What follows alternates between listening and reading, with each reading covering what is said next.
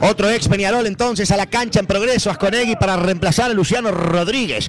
En definitiva, la pelota la traslada Peñarol por el sector que no veo nada. No sé qué pasa. Veo que sube la pelota y que ahora sí revienta. Revienta el fondo de progreso en la mitad de la cancha, termina sacando da Silveira. Le queda sin embargo Andrada, Andrada para Paiva, Paiva por bajo, toca por el sector donde no veo nada y recupera Peñarol. Con Valentín, supongo. Tocando adentro ahora para Canovio. Agustín sí lo veo porque viene por derecha. Acelera Canovio por este sector, pasa el mono Pereira. Canovio se la quiere dar al mono y recibe nomás. Pereira arranca, engancha hacia adentro. Pereira traslada, quiere meterse en campo rival y se metió nomás, tocó para Canovio. Canovio ahora recorta, engancha, la sirve. No, no la sirve. La sirve pero al medio. A la mitad de la cancha donde está Cepelini. Y ahora arranca Pablo. Y este es Trindade que la va a servir para abajo. El desvío en el camino. Canovio lo tiene, lo tiene, lo tiene. Gol, gol, gol, gol, gol, gol, gol. El Canario.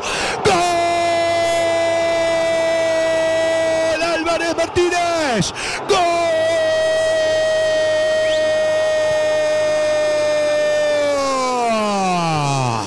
Gol de Peñarol, Agustín Álvarez Martínez. La jugada la arrancan entre Canovio y el mono por derecha, llega atrás para Trindade. La sirve al área, se la lleva Canovio. Para mí hay un error del fondo de progreso y le queda servidita al canario Álvarez Martínez que otra vez dice presente y abre la cuenta. Peñarol 1, progreso 0.36 de complemento. Qué cosa seria que es este pibe, ¿eh? porque la verdad que cada partido que pasa suma un gol, si no lo suma está cerca de hacerlo.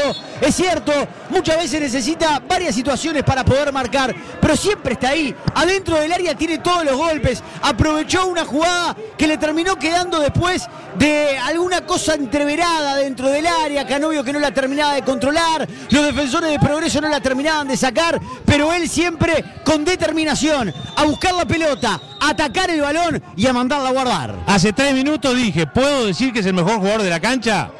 Pasaron tres minutos, hizo el gol. ¿Qué voy a decir ahora? Recontra mejor jugador de la cancha. Tocó tres pelotas, tres chances de gol, una adentro. Golazo de Cololó.